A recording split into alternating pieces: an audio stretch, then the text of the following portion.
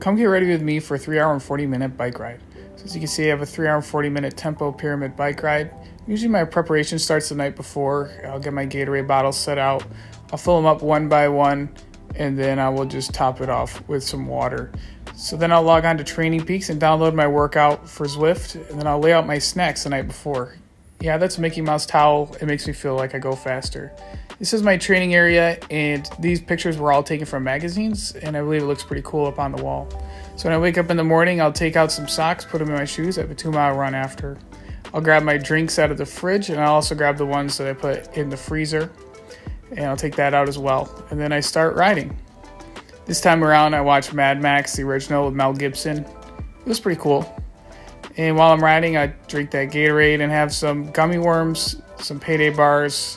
I'll drink some more. I ended up biking about 71 miles and ran two extra miles, and it was a great day.